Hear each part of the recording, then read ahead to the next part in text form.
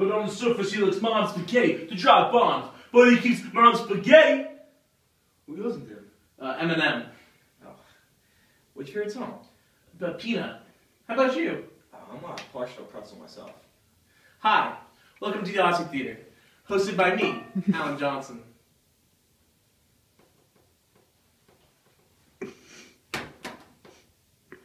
Again, Austin J. Carbone.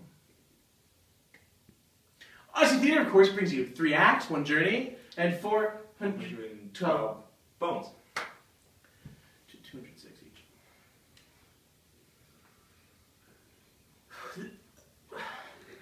This week's inspired by the courtroom.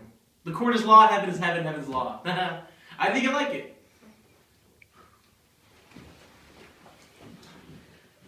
Now, I have to ask this question as a formality, but do you think cigarettes can cause lung cancer and emphysema?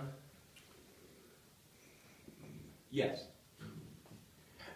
To be honest, I think you have a hard time trying to find someone who thinks cigarettes aren't dangerous. I just don't see why you need a one label on something that everybody already knows. The warning label serves as a reminder to the danger.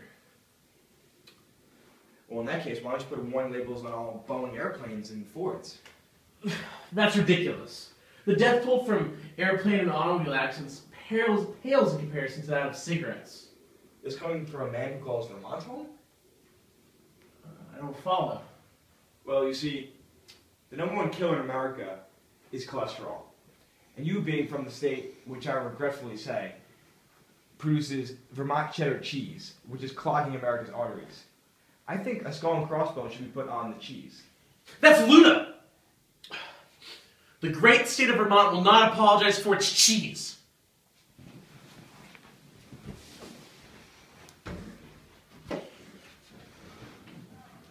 Mr. Tipton, are we to believe that you can cook grits in five minutes when it takes the rest of the grit eating world 20 minutes to cook their grits? I, I don't know. I'm a, I'm a fast cook, I guess.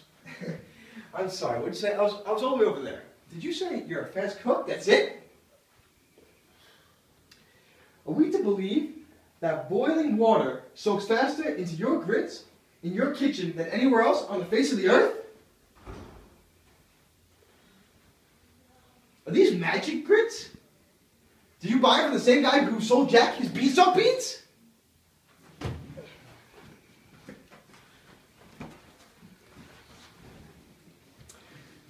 Ladies and gentlemen of the jury, the prosecution is trying to get their man today. But the prosecution will not get their man today. No. Because I'm going to get the man.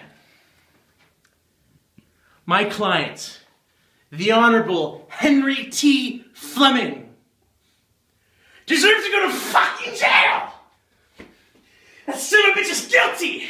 He's slime! He's fucking slime! Mr. Frankenstein, you're out of order. I'm out of order! You're out of order! They're out of order! The machine's out of order! This whole court is out of order! And scene.